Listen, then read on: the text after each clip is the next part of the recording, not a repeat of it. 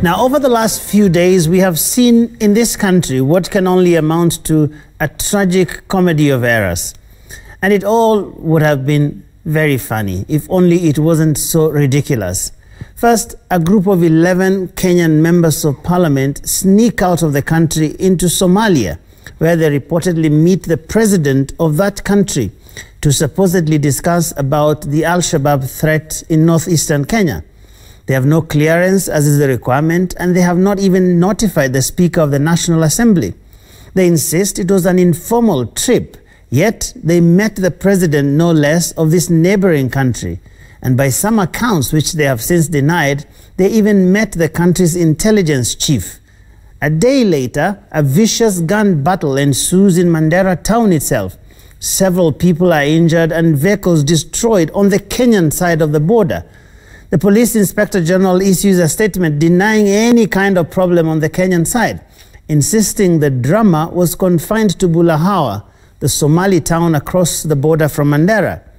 Then just yesterday, a tough warning from President Uhuru Kenyatta asking Somalia to cease and desist from what he called unwarranted provocations.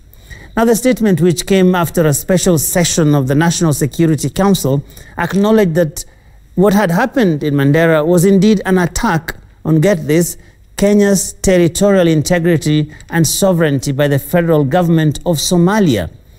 Now, I will not dwell on the members of parliament. They have given their story and Kenyans can judge for themselves. But I'm more concerned about the government response to this daring attack on Kenya by a neighboring country.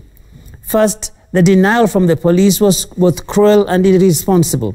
How could he, from the comfort of his office in Nairobi, dismiss the story of several Kenyans in Mandera who not only heard the loud explosions in the town, but also saw the billowing smoke and the resulting mayhem of injured people and blown out vehicles? The statement from the president after the National Security Council meeting couldn't have been more underwhelming.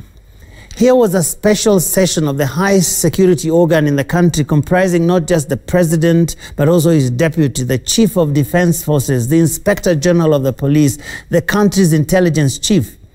And all they could come up with was a long and winding cease and desist statement, not different from what NEMA would give to a rowdy resident making noise in the estate at night or a factory discharging effluent into a river. This was a serious breach by a neighboring country. For the first time, we were not talking about Al Shabaab terrorizing residents of Mandera, but the government of a country, one with a permanent address, a government, and a president. Don't get me wrong. I'm not saying that Kenyan jet fighters should have rained bombs on Mogadishu on that day, even if that occasionally becomes necessary. But surely, is that the best Kenya would have done? Is that the best assurance would have given to the people of Mandera that no rogue intruders would come harassing them again?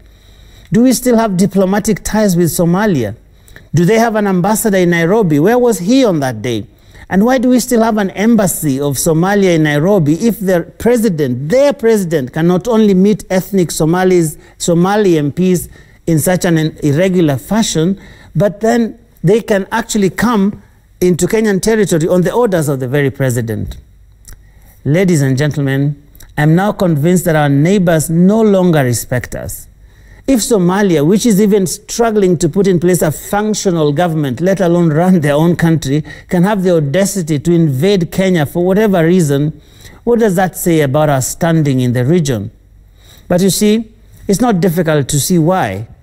Are we imagining that the Somali government, as dysfunctional as it is, was not watching when we let Ugandan troops invade Migingo Island and harass Kenyan fishermen who had for decades plied their trade around that rock in Lake Victoria? What about when the Toposas cross from South Sudan or Merille fighters storm parts of Turkana from Ethiopia and we get nothing except issuing warnings? I think the government should cease and desist from taking all of us for granted. We surely deserve better. That is my angle for this week.